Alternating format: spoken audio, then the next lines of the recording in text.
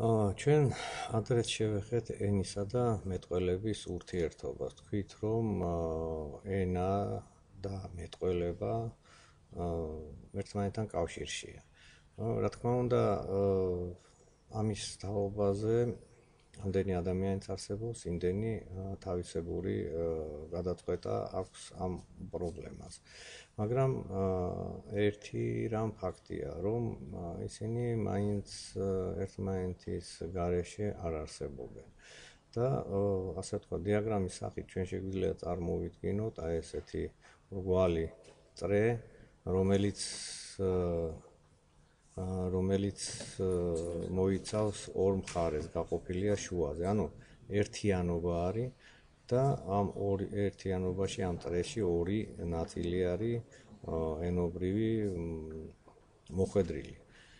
ენა და მეტყველება. აა ეს არის ასე ვთქვათ მედალის, მედლის ორი მხარე. ანუ აა ერთმანეთის გარეშე, რა თქმა უნდა, არსებობა არ შეუძლიათ ამ ორ ფენომენს. ენა თავისთავად იდეალურია, იდეალური მხარეა, კოდი არის რაღაც ნიშნების, ნიშნებია რაღაცის აღნიშნელი. მეტყველება არის მატერიალური მხარე. აა ენის რეალიზაცია არის. აა აი შემდეგ ცხრილში ჩვენ შეგვიძლია დავინახოთ, ადვილად დავინახავთ ენისა და მეტყველების, ასე ვთქვათ, შემადგენელი დახასიათებების და ურთიერთ დაპირისპირება, შეხამებას ერთმანეთს გარეშე არსებობა მათი წარმოუდგენელია, მოდ ჩამოუყვეთ. ენა იდეალურია, რას ნიშნავს იდეალურია? იგი გზნობადად არ აღიქმება. აა არსებობს ადამიანის ო twinში, მამის და მასთან შეხება არ შეიძლება. გარდა იმისა, რომ თქვათ მეტყველების სახით ის წარმოიშვება და მისი რეალიზაცია ხდება და გზნობადად აღქმადია. რას ნიშნავს? როგორ აღვიქვათ ჩვენ ენას გზნობადად? ენას აღვიქვათ აი მატერიალური მხარით, ანუ გერის მეშვეობით ის გერა წარმოიშოვება და ჩვენს ან სამეთყელო ჩვენი სამეთყელო აპარატიდან გადაიცემა მსმენელის ურის საშუალებად აღიქვება მის გონებაში ის პოულობს შესაბამისად ადგილებს და თავის ადგილას ხდება მისი ასე ვთქვათ რეალიზაცია. ანუ ანალოგიური შესაბამისი ცნებების მეშვეობით ის აღდგება ისევ ასე ვთქვათ იდეალურ სახეს მიიღებს. ენა აბსტრაქტულია. აღნიშნავს განყენებულ არს ცნებებს ველებს მეტყველება კონკრეტულია, გამოიყენება სიტუაციურად. ერთეულების ფუნქციონირება მუდამ აკონკრეტებს, აზუსტებს, განსაზღვრავს მათ. ენა პოტენციალურია. რას გულისხმობს ეს? თავაზობს მხოლოდ ვარიანტებს, შესაძლებლობებს, მაგრამ არ ახდენს მათ რეალიზაციას. თქვათ, იგივე რაღაცა ერთი ცნების ან ერთი მოვლენის ახსაწერად შეიძლება სხვადასხვანაირად გამოყენებულ იქნეს ის აპარატი, ის ცოდნა, ის მარაგი, რაც ადამიანს გონებაში გააჩნია. მეტყველება რეალურია, ახდენს ამ შესაძლებლობების რეალიზაციას. ანუ თქვათ იგივე თარგმანი რომ ავიღოთ, ხო, ერთი ენიდან მეორეზე, აქ ძალიან მარტივად ხდება რეალიზაცია, გარკვეულად ბევრი ცნებებიდან ხდება გარკვეული ცნებების ამორჩევა და შემდეგ დაალაგება ისე როგორც ჩვენ გვინდა. შეიძლება ეს მოხდეს ჩვეულებრივი თხრობის სახით, შეიძლება მოხდეს თქვა სამან პოეტური სახე, უფრო ლამაზია. კონსერვატულია, შედარებით მდგრადია ენა. იცლება მხოლოდ მეტყველების პროცესში. აი რა რა იგულისხმება ამაში? ესე იგი ჩვენ ენა გონებაში. მუდმივათა მუდმივად გვაქვს. ის არსებობს ჩვენ და ასე ვთქვათ ჩვენგან დამოუკიდებლად მისი შეცვლა არ შეიძლება. ხოლო აა მეტყველება რეალურია. ახდენს ამ შესაძლებლობათა რეალიზაციას ისევ კონსერვატულია რომ თქვით, მხოლოდ მეტყველების პროცესში იცვლება. მეტყველება უფრო დინამიურია. ენაზე მეტად იცვლება, იმიტომ რომ თქვა ჩვენ გონებაში არსებული ენა, თქვა ქართული, თავის სახე აქვს ერთიანი, რაც შეეხება მის რეალიზაციას, ყოველი ჩვენგანი ფიზიკუ თუნდაც აი ელემენტარულად ფიზიკური ნიშნის მიხედვით სხვადასხვანაირად ახდენს ამის რეალიზაციას. აუშვეთ ჩემი ხმის ტემბრი, სიმაღლე, სიხშირე ამ ბგერების, მუსიკალობა, ტონი სხვანაირად ხდება, ხოლო ნებისმიერ თქვენგანში კიდევ უფრო სხვანაირად. ენა სოციალურია. განკუთვნილია სოციალ სოციუმისთვის და მის შიგნით მოხმარებისთვის.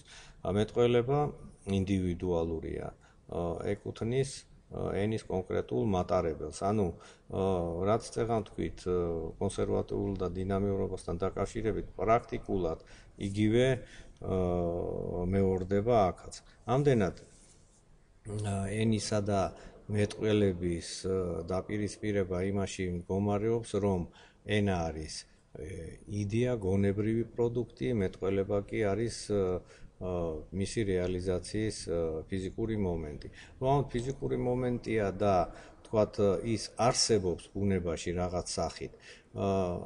ეს სწორედ ამ თვალსაზრისმა შეიყვანა შეცდომაში მეცნიერები, როდესაც ისინი ცდილობდნენ ამა თუ იმენის ასაკის დადგენას. ჩვენ ვიცით და თქვენ ციცით, რომ არსებობს რაღაცის ასაკის დადგენის ნებისმიერი ცოცხალი ორგანული ნივთიერების შემცველი აა რაიმე საგნის ამ ბუნების ნაწილის ასაკის დადგენა შეიძლება მასში არსებული რადიოაქტიული ნახშირბადის დაშლის პროცენტის მიხედვით. ანუ ყოველ წელიწადში ჩვენს ორგანიზმში, თუ გნებავთ ხეში, თუ გნებავთ მკვდარ სხეულში, გაქოვებულში არსებობს ეს რადიოაქტიული ნახშირბადი, რომელიც ყოველ წელიწადში იცვლება გარკვეული პროცენტით, ხო?